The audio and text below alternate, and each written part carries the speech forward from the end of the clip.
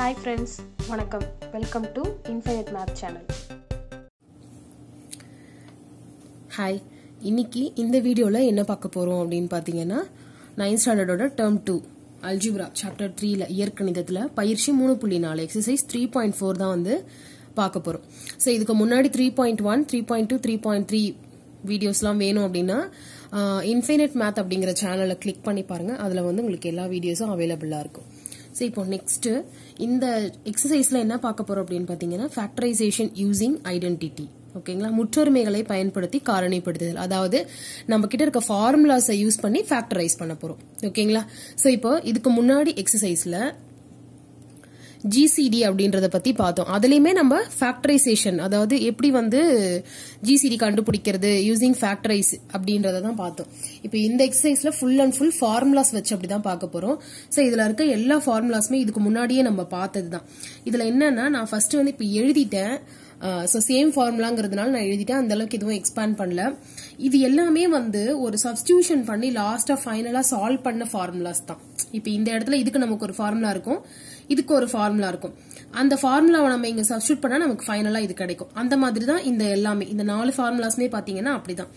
அதுக்கப்புறம் இந்த ரெண்டு ஃபார்முலாஸ் மட்டும் என்ன பண்ணிருப்போம்னா முன்னாடி எக்ஸசைஸ்ல இங்க வேற மாதிரி பார்த்திருப்போம் அதுவுமே இந்த மாதிரி தான். அதை சால்வ் பண்ணா ஃபைனலா இந்த மாதிரி ஒரு ஃபார்முலாஸ் கிடைக்கும். அதுதான் இவங்க கொடுத்துருக்காங்க. ஸோ நீங்கள் ஞாபகம் வச்சுக்க வேண்டியது புதுசா அப்படின்னு பார்த்தீங்கன்னா மோஸ்ட்லி இந்த ரெண்டு ஃபார்முலாஸ் தான். அதுக்கப்புறம் இந்த நாளும்.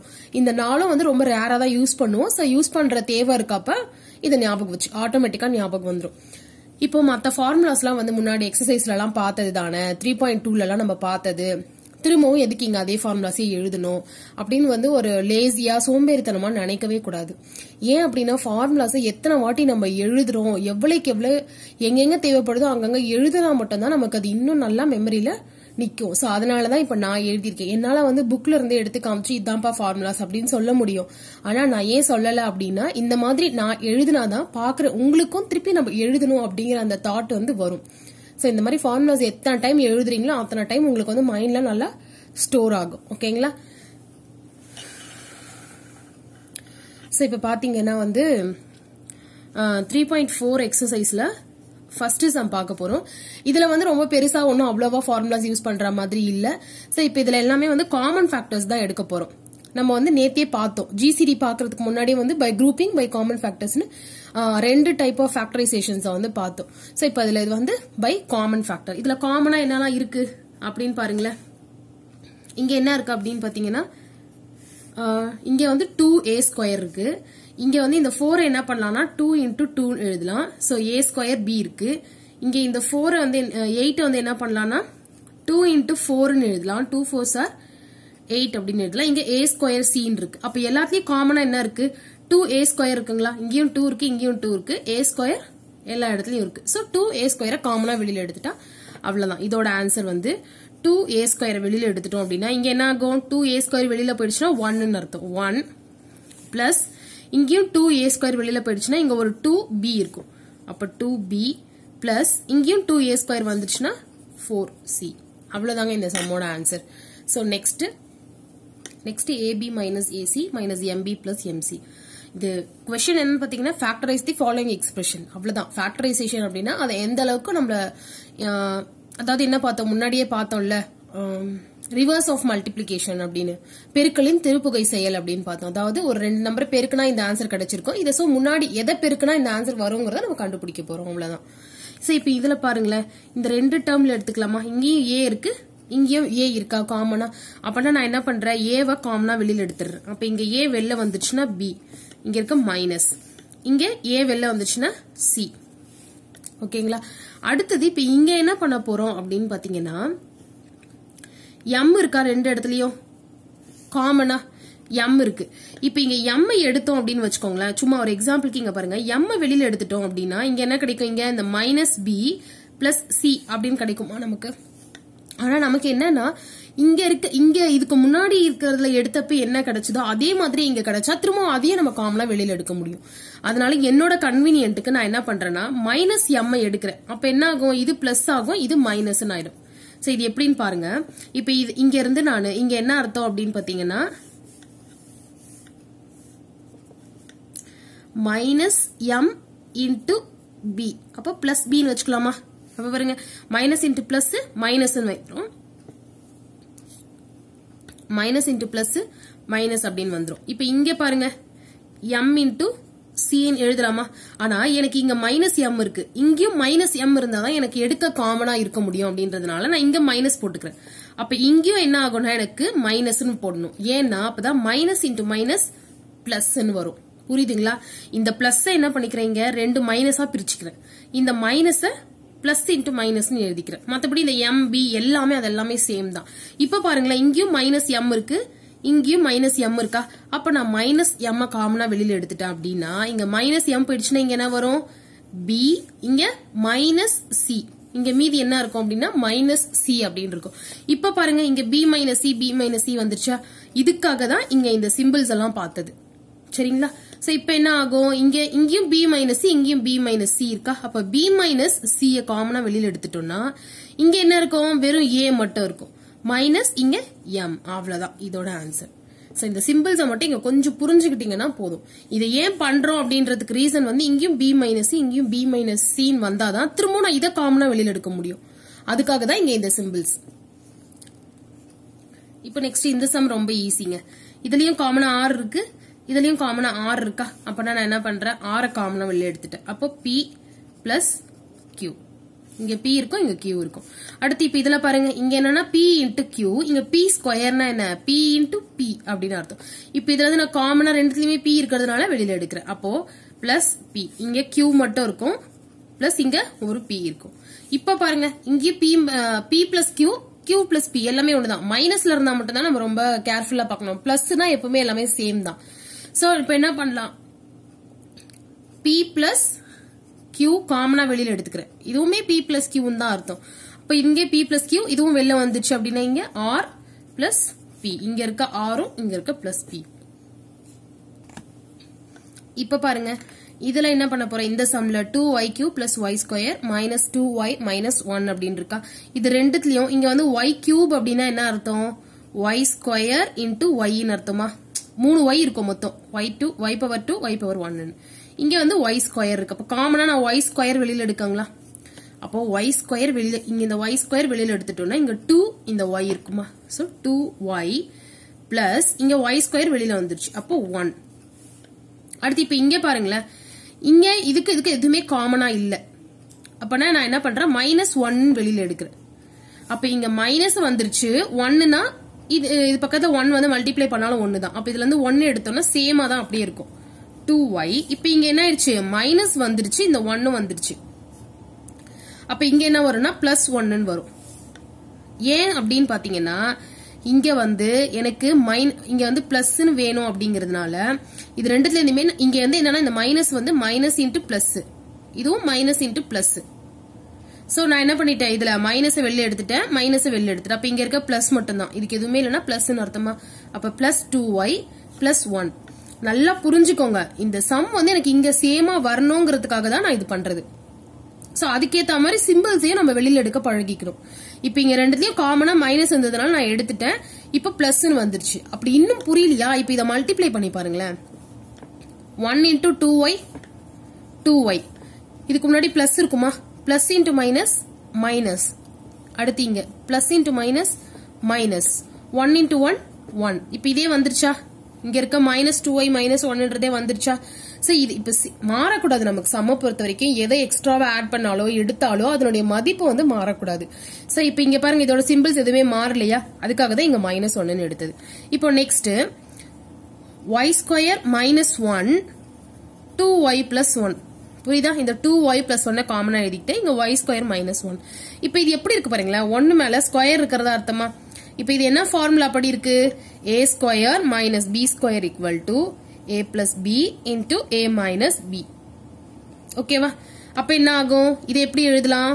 Y plus one y minus one இங்க இருக்க டூ ஒய் பிளஸ் ஒன் இதுதான் வந்து இந்த சம்மோட ஆன்சர் ஸோ இது ரொம்ப ஈஸி இது இதெல்லாம் நம்ம ஈஸியாக கற்றுக்கிட்டோம் அப்படின்னா அடுத்த எக்ஸசைஸ் ஃபேக்டரைசேஷன் ரொம்ப ஈஸியாக இருக்கும். அதில் எல்லாமே இந்த சிம்பிள்ஸ் இந்த காமனாக எடுக்கிறது இதெல்லாம் தான் வரும். ஸோ இங்கேயும் இதை நல்லா புரிஞ்சுக்கிட்டீங்கன்னா அங்கே ரொம்ப ஈஸியாக இருக்கும். இப்போ இதுல செகண்ட் சம் பாருங்க. இந்த எக்ஸசைஸ்ல எல்லாமே ஃபேக்டரைசேஷன் தாங்க. ஓகேவா அதனால ஒரு ஒரு ஹெட்டிங்குமே following the factor sorry find the factorisation of the following அப்படின்னு தான் சொல்ல ஃபுல்லாக கொடுத்துருப்பாங்க. பின்வரும் வச்சு காரணிப்படுத்துகன். அதனால இப்படி எழுதிக்கிட்டேன். இப்போ பாருங்க இதுல x square plus four x plus four அப்படின்னு கொடுத்துருக்காங்களா? இப்போ இத வந்து ஃபார்முலாஸ் யூஸ் பண்ணி ஃபேக்டரைஸ் பண்ணுங்க அப்படின்னு சொல்லியிருக்காங்க. இந்த எக்ஸசைஸே அதுதான் ஃபார்முலாஸ் யூஸ் பண்ணி தான் நம்ம ஃபேக்டரைசேஷன் பண்ண போறோம். ஸோ இப்போ இதை எப்படி எழுதலாம் அப்படின்னா ஃபர்ஸ்ட் இங்க பாருங்க நான் என்ன பண்றேன்? இந்த எக்ஸ் ஸ்கொயர் பிளஸ் இந்த ஃபோர் என்ன பண்றேன்னா டூ இன்டூ டூ எக்ஸ்ன்னு எழுதிக்கிறேன். அப்போ மதிப்பு மாறாதா? வேல்யூ மாறாதா? Two two sir four x அப்படியே வந்துடும் பிளஸ் இங்க இருக்க ஃபோர் என்ன பண்றேன்னா டூ ஸ்கொயர்னு எழுதிக்கலாமா? ஏன்னா டூ டூ சார் ஃபோர் ஓகேங்களா? சோ இப்போ இது எப்படி இருக்கு பாருங்களேன். இந்த ஃபார்முலா மாதிரி இருக்கா?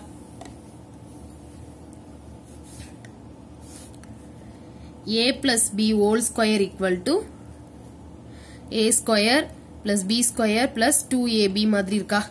இங்க வந்து ஏ இருக்க இடத்துல எக்ஸ்ன்னு வச்சுக்கோங்க. பி இருக்க இடத்துல டூன்னு வச்சுக்கோங்க. இப்ப பாருங்க ஃபர்ஸ்ட் இங்க என்ன வேணும்? எக்ஸ் ஸ்கொயரா ஏ இருக்க இடத்துல எக்ஸ் போட்டா அப்ப எக்ஸ் ஸ்கொயர் பிளஸ் பி ஸ்கொயரா அப்ப இங்க டூ ஸ்கொயர்னு வந்துருச்சா? அடுத்து டூ ஏ பியா டூ வந்து இந்த டூ வந்து ஃபார்முலால இருக்க டூ இங்க இங்க இந்த டூ இது வந்து ஏ இது வந்து பி அப்ப டூ ஏபி ஃபார்முலா மாதிரி இருக்கா? சோ அப்ப இதை இப்ப என்ன பண்ண போறோம்னா நெக்ஸ்ட் ஸ்டெப்ல இது ஈக்குவல் டு இதா. அப்ப ஏ பிளஸ் பியா இப்ப எக்ஸ் பிளஸ் டூ ஹோல் ஸ்கொயர்னு எழுதிக்கலாம். ஏன் அப்படின்னா இதை எக்ஸ்பேண்ட் பண்ண ஃபார்முலா படி எக்ஸ்பேண்ட் பண்ண இது கிடைக்கும். ஸோ இப்போ இதுல இருந்து நான் இதை எடுத்துட்டு வந்துட்டேன். முன்னாடி எக்ஸசைஸ்ல பாத்தீங்க அப்படின்னா ஜிசிடிக்கு முன்னாடி த்ரீ பாயிண்ட் டூல இப்படி கொடுத்திருப்பாங்க நம்ம இந்த மாதிரி எக்ஸ்பேண்ட் பண்ணோம். இப்போ இந்த எக்ஸசைஸ்ல இவங்க எக்ஸ்பேன்ஷனா கொடுத்திருப்பாங்க நம்ம அதை ஃபார்முலாக்கு மாத்த போறோம். ஓகேவா அப்ப அதுதானே ஃபேக்டரைசேஷன் வந்துருச்சா? ஃபேக்டரைசேஷன் அப்படின்னா பெருக்களினுடைய திருப்புகை செயல் ரிவர்ஸ் ஆஃப் மல்டிபிளிகேஷன் சோ முன்னாடி எக்ஸசைஸ் த்ரீ பாயிண்ட் டூல ஃபார்முலா இப்படி இருக்கிறத வச்சு இப்படி எக்ஸ்பேண்ட் பண்ணோம். இப்போ இப்படி இருக்கிறத வச்சு இந்த மாதிரி ஃபார்முலாஸா கன்வி மாத்திருக்கோம். சோ அவ்வளவுதான். இப்போ செகண்ட் சம் பார்க்கலாம் இதுல. இப்போ இந்த சம்ல பாருங்க.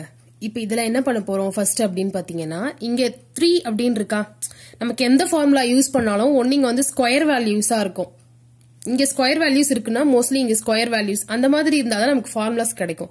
இப்போ இதுல த்ரீங்கிறது ஒரு ஸ்கொயரான வேல்யூ கிடையாது. அதனால என்ன பண்ண போறோம்னா ஃபர்ஸ்ட் த்ரீ எல்லாம் காமனா வெளியில எடுக்கலாம். இப்போ இந்த சம்ல என்ன பண்ண போறோம்? த்ரீய காமனா வெளியில எடுக்க போறோம். இப்போ த்ரீய காமனா வெளியில எடுத்தா என்ன கிடைக்கும் அப்படின்னு பாத்தீங்கன்னா இங்க என்ன இருக்கும்? ஏ ஸ்கொயர் இருக்குமா? இப்போ இந்த த்ரீ வெளில வந்துருச்சு. அப்ப ஏ ஸ்கொயர் மைனஸ் இந்த டுவெண்ட்டி ஃபோர் என்ன பண்ணலாம்? த்ரீ எயிட்ஸா டுவெண்ட்டி ஃபோரா மூ எட்டு இருபத்தி நாலா? மூ எட்டு இருபத்தி நாலு. அப்ப இந்த மூணு வெளியில எடுத்துட்டேன்னா இங்க என்ன இருக்கும்? எட்டு ஏபி பிளஸ் இங்க இந்த நாற்பத்தி எட்டு வருதா? இப்ப இந்த நாற்பத்தி எட்டு என்ன பண்ணலாம் அப்படின்னா மூணு இன்ட்டு பதினாறுன்னு எழுதலாமா? இப்ப பாருங்க மூவாறு பதினெட்டு மீதி ஒன்னு ஒரு மூணு மூணு ஒன்று நாலு நாற்பத்தி எட்டு. அப்ப இதே என்ன பண்ற? மூணு வெளில எடுத்துட்டேன்னா பதினாறு b square sixteen b square so இப்போ நெக்ஸ்ட் என்ன பண்ண போறோம் அப்படின்னு பாருங்க. இந்த த்ரீ அப்படியே வச்சுக்கோங்க. இந்த ஏ ஸ்கொயர் மைனஸ் இதை என்ன பண்ற அப்படின்னா ஃபர்ஸ்ட் இதை இது எப்படி பிரிக்கணும் அப்படின்னு உங்களுக்கு தெரியலன்னா இங்க இருக்கிறத பாருங்க. இப்போ இங்க ஏ ஸ்கொயர்னு இருக்கு. இப்போ இங்க என்ன பண்ணலாம் இத? ஃபோர் பி ஹோல் ஸ்கொயர்னு எழுதலாமா?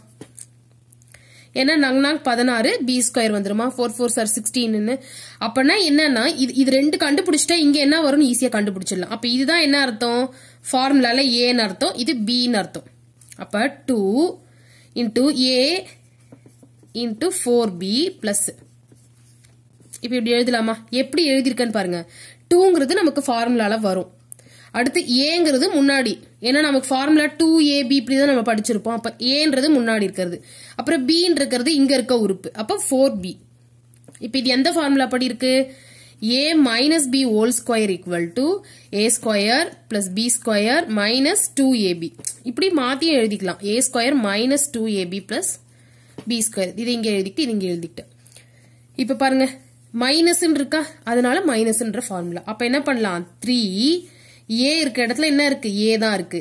மைனஸ் பி இருக்க இடத்துல four b whole square whole square ஓகேங்களா ஸோ இதில் என்ன பண்ணணும்னா இங்கே மைனஸ் இருக்கா? அப்போ கரெக்டாக பார்த்து இந்த மைனஸ் ஃபார்முலா எழுதணும். நீங்கள் பாட்டுக்கு இதை ப்ளஸ்ன்னு நினச்சிட்டு நமக்கு எப்பவுமே வந்து ஃபர்ஸ்ட் ஃபார்முலா நல்ல மெமரியில் நிற்கும் அப்போ ஏ ப்ளஸ் பி ஹோல் ஸ்கொயர்னு அதுக்கு எழுதிடுவோம். அந்த மாதிரிலாம் எழுதக்கூடாது. கரெக்டாக இங்கே ப்ளஸ் மைனஸ் செக் பண்ணிட்டு அதுக்கான ஆன்சர்ஸ் எழுதுனீங்க அப்படின்னா ஈஸியாக ஆன்சர் வந்துடும் சோ இப்போ நெக்ஸ்ட் தேர்ட் சம் பார்க்கலாம். எல்லாமே ஃபார்முலாஸ் தாங்க.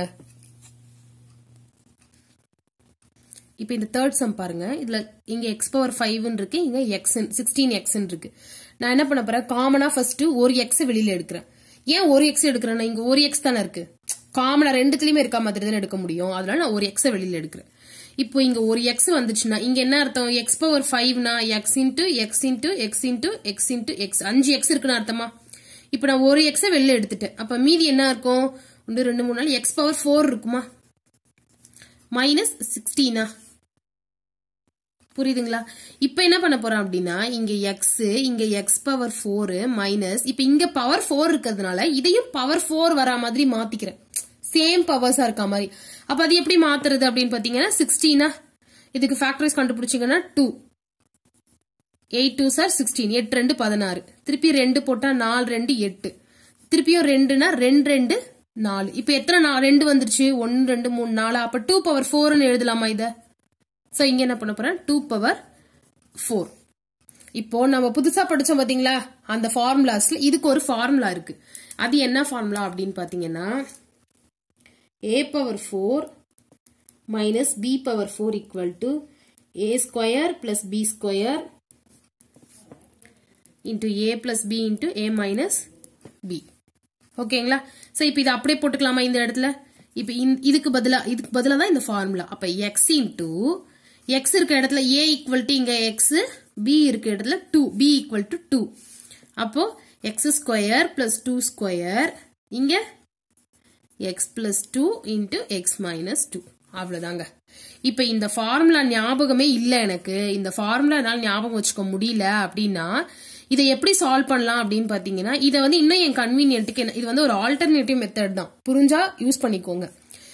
இப்ப இந்த எக்ஸ் பவர் ஃபோர் இருக்குல்ல அதை X power two into two minus two power two into two அப்படி எழுதிக்கிறேன் நான். சரிங்களா? இப்ப இது எப்படி இருக்கு? இது ஃபுல்லா ஏன்னு வச்சுக்கோங்க. அப்ப ஏ ஸ்கொயர் மைனஸ் இது ஃபுல்லா பினா பி ஸ்கொயரா இதுக்கு நமக்கு தெரியும். A plus B into A minus B இந்த சிம்பிள் ஃபார்முலா இது முன்னாடி எக்ஸஸ்லேருந்தே படிச்சிருக்கோம். ஸோ இப்போ என்ன பண்ணலாம்? ஏ இருக்க இடத்துல வந்து என்ன போடணும்? எக்ஸ் ஸ்கொயர்னு போடணும். அப்போ X square plus two square X square minus two ஸ்கொயரா இப்போ திரும்பவும் இதுக்கு இதே ஃபார்முலா யூஸ் பண்ணிக்கலாமா? ஏ ஸ்கொயர் மைனஸ் பி ஸ்கொயர்னு இப்போ இங்கே ஏ இருக்கிற இடத்துல எக்ஸ் பி இருக்கிற இடத்துல டூ அப்போ என்ன ஆகும் இது அப்படியே வந்துடும் X square plus two square அப்படியே வந்துடும் இங்கே என்ன ஆகும் இது? X plus two X minus two இப்ப வந்துருச்சா பாருங்க இந்த ஆன்சர் இந்த எக்ஸ் வந்து இங்கிருந்தே கூட வர்றது. இது மட்டும் பாருங்க இங்கேயும் இங்கேயும் சேமா வந்துருச்சா? சரி இப்ப இந்த ஒரு ஃபார்முலா வச்சுதான் இந்த ஃபார்முலா கண்டுபிடிச்சிருக்காங்க. அதை ஈஸியா இந்த ஃபார்முலா ஞாபகம் வச்சுக்கிட்டா ஒண்ணுமே பிரச்சனை இல்லை. அப்படி இல்லைனாலும் அந்த இடத்துல பயப்படக்கூடாது. ஃபார்முலா மறந்துருச்சுன்னா என்ன பண்றதுன்னு. நம்ம மூளை எப்படி யோசிக்கணும்னா இந்த மாதிரியும் யோசிக்கணும். சரிங்களா? அதுக்காக தான் இந்த ஆல்டர்னேட்டிவ் மெத்தட் சொல்லி கொடுத்தது. இப்போ நெக்ஸ்ட் ஃபோர்த் சம் பார்க்கலாம். இன்ஃபைனைட் மேத் சேனலை பாருங்கள் லைக் பண்ணுங்கள் ஷேர் பண்ணுங்கள் சப்ஸ்கிரைப் பண்ணுங்கள். தேங்க்யூ